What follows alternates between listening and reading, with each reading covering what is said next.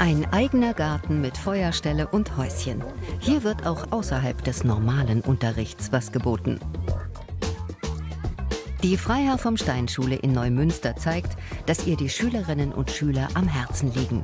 Sie gibt allen Schülern eine Chance und hat ein stimmiges Konzept des individuellen und gemeinschaftlichen Lernens entwickelt. Mit Beharrlichkeit, Leidenschaft und Ideenreichtum bemüht sich die Schule um nichts weniger, als sich selbst neu zu erfinden.